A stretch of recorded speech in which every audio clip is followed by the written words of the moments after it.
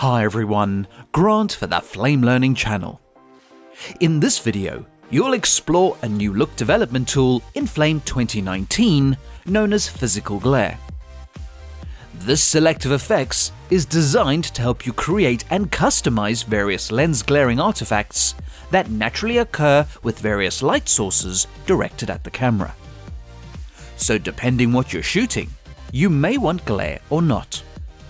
But by adding physical glare with Flame 2019, allows you to add to or enhance what you already have.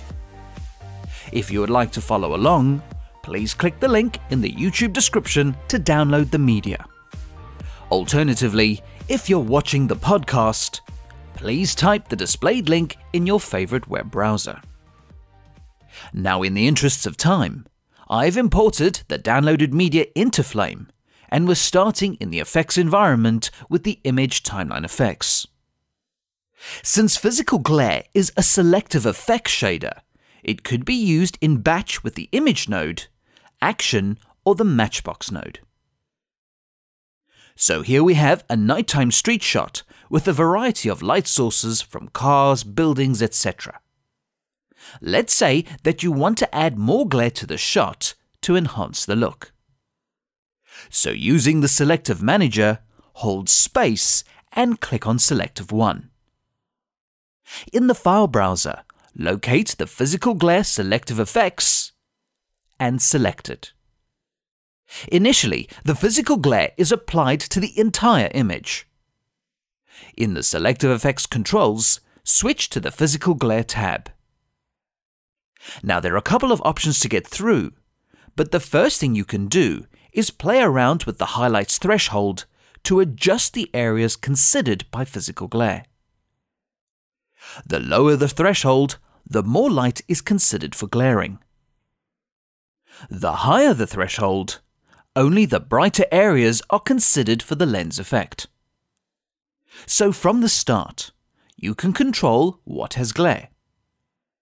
To be exactly sure of what you're affecting, you look at the output viewing.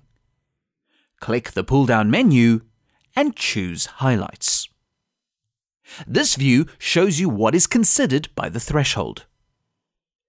Adjusting the threshold will give you a clear indication of the included areas. Now, since physical glare is a selective effects, you could limit the area even further with masks, keys, and mattes.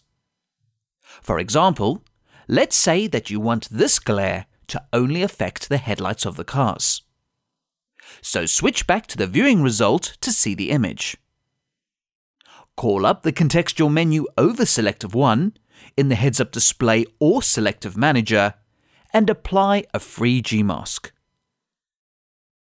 Now draw a mask at the bottom of the screen to constrain only the headlights of the cars. As an extra tip, you could have drawn this mask in the highlights view as well. If you switch back to the highlights view, you can see the physical threshold is combined with the mask to isolate the exact lights in the image. Now there are a couple points to mention while still looking at this view. In the highlights controls, you can set a threshold limit, as well as add noise and increase the highlight gain. This will affect where and how the glaring is applied. Switching back to the result view and adding noise and gain can make the glaring effect more random from the light sources. So the highlights define where the glare is coming from. The next few options control the look of the glare. Switch the viewing menu to aperture. The reason for doing this is each camera lens is different, and as a result of that, the glaring artifacts will be different as well. If you switch to the Starburst menu and start adjusting the blade number, you can define the aperture of the lens that generates the glare. You can also adjust the lens offset as well as curving the blades. Now this is all procedural based, including the upcoming lens noise, so it's quite flexible with the standard options. But just to inspire your creative juices even further, You can also load your own aperture and noise pattern, which will be shown in a future video. Now if you go back to the controls menu and look at the output viewing result, the glaring should start looking different. Going back to the Starburst menu and adjusting the settings should make this pretty obvious. Now understandably, the highlights from the image is causing a lot of glaring. If you're designing the glare very specifically, you switch the output viewing to Starburst. This gives you a single glare and you can tweak it as you need. For instance, switch to the lens noise and increase the dirt and scratch densities. You can also alter the scratch dispersion, orientation, and angle dispersion. Each option allows you to tweak the lens aperture to your exact look.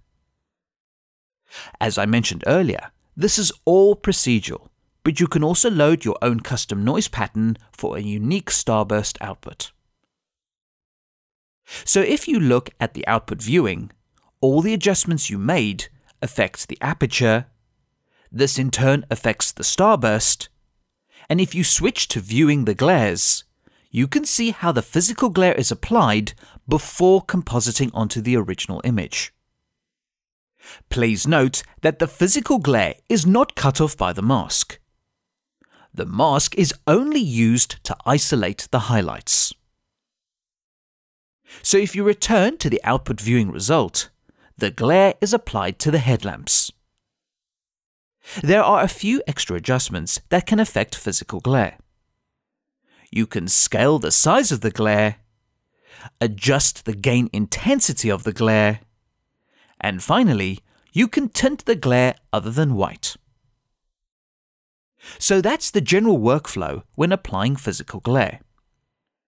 Now you can combine multiple selectives with physical glare to keep enhancing the image.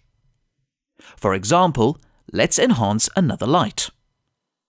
Hold space and click on Selective 2 in the Selective Manager.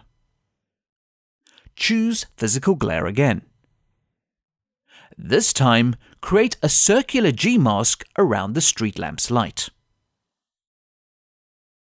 You can use the different output views to check the highlights, aperture, starburst and glares.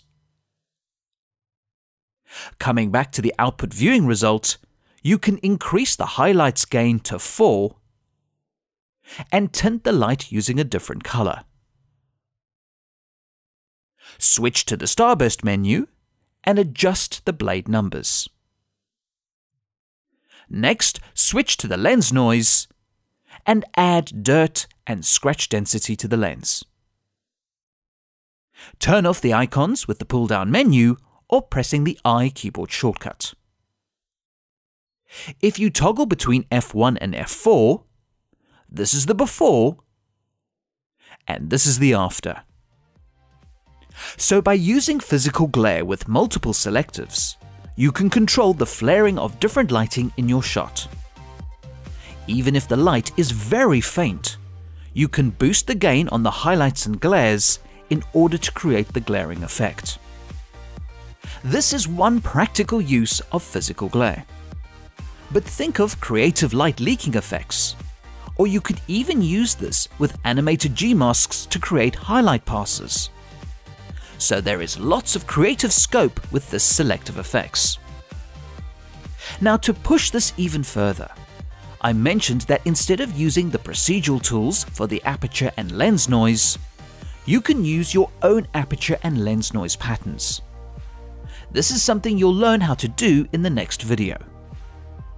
As a final concluding point, the Physical Glare is one of three new look development shader tools that help you design and apply real-world lens artifacts. The other two are Physical Bokeh and Convolve. These tools also use the same framework with similar options and controls, so please try them out and I'll cover these in future videos. Don't forget to check out the other features, workflows and enhancements to Flame 2019. Comments, feedback and suggestions are always welcome and appreciated. Please subscribe to the Flame Learning channel for future videos, and thanks for watching.